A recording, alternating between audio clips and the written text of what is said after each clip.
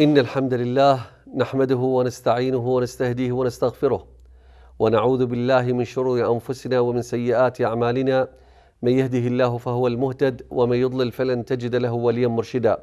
وأشهد أن لا إله إلا الله وحده لا شريك له وأشهد أن قرة عيوننا وربيع قلوبنا حبيبنا محمد عبده ورسوله. أحبتي في الله تقبل الله صيامكم وقيامكم. وأسأل الله العظيم رب العرش الكريم أن يجعلنا من عتقاء شهر رمضان من النيران.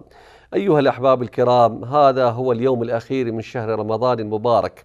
فإذا ثبتت الرؤية أيها الأحباب الكرام وثبت رؤية هلال شهر شوال أو هلال العيد فعلى المسلم سنن سنها النبي صلى الله عليه وسلم يجب أن يفعلها. فكان الحبيب صلى الله عليه وسلم إذا ثبتت الرؤية في صلاة المغرب بدأ يكبر صلى الله عليه وسلم وعلم الأمة صيغة التكبير فيبدأ المسلم والمسلمة بالتكبير من ثبوت الرؤية فيقول الله أكبر الله أكبر الله أكبر لا إله إلا الله الله أكبر الله أكبر ولله الحمد الله أكبر كبيرا والحمد لله كثيرا. وسبحان الله وبحمده بكرة وأصيلا. فكان النبي صلى الله عليه وسلم يكبر من ثبوت رؤية هلال شهر شوال وإلى صلاة العيد أن يبقى يستمر بالتكبير. قال فيها رب العزة تبارك وتعالى ومن يعظم شعائر الله فإنها من تقوى القلوب فهذه من شعائر الله سبحانه وتعالى في هذا اليوم المبارك الذي سمي بيوم الجائزة ويوم المكرمة.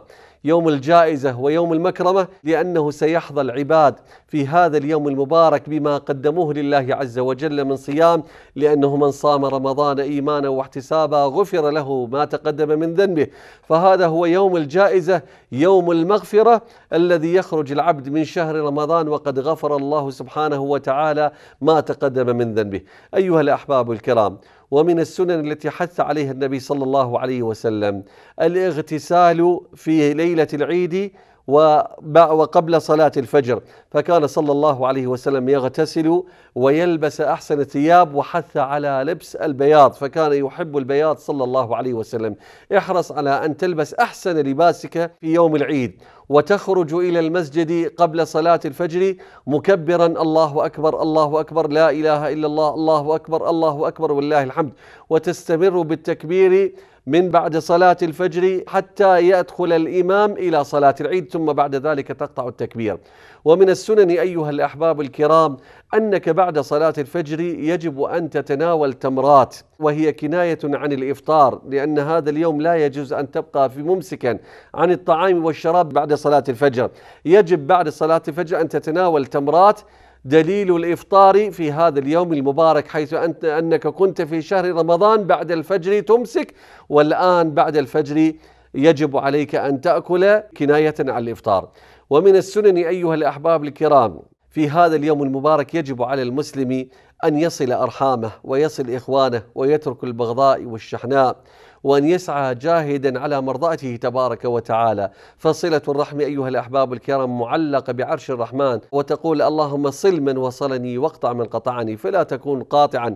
أتممت طاعة عظيمة بصيام شهر رمضان فجمل هذه الطاعة في هذا اليوم المبارك بأن تسعى إلى أرحامك وإلى أقاربك وبل واسعى كذلك إلى ما بينك وبينه خصومة. اسعى على أن تسلم عليه و وترفع الغل من قلبك كما قال رب العزة تبارك وتعالى ونزعنا ما في صدورهم من غل إخوان على سر متقابلين والذين جاءوا من بعدهم يقولون ربنا اغفر لنا ولإخواننا الذين سبقونا بالإيمان ولا تجعل في قلوبنا غلا للذين آمنوا ربنا إنك رؤوف رحيم. وكذلك أيها الأحباب من السنن في هذا اليوم المبارك أن تحضر صلاة العيد وأن تستمع لخطبة العيد ويا للعيب أن كثيرا من الناس يترك خطبة العيد ويترك صلاة العيد فيذهب إلى المقابر ويبقى في المقبرة فتذهب عليه صلاة العيد وتذهب عليه خطبة العيد. لا بأس أن تذهب إلى المقابر أيها الأخ المسلم وتتذكر الموت وتسلم وتدعو لمن فقدت من أحبابك وخلانك.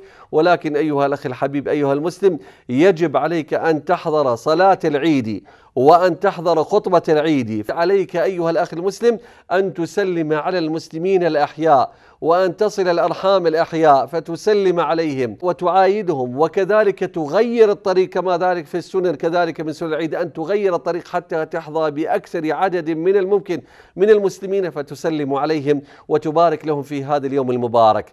ولا بأس أيها الأحباب الكرام بعد ذلك أن تتوجه إلى المقبرة وأن تسلم على الأموات وتسلم على من فقدت من أحبابك وتدعو لهم في هذا اليوم المبارك.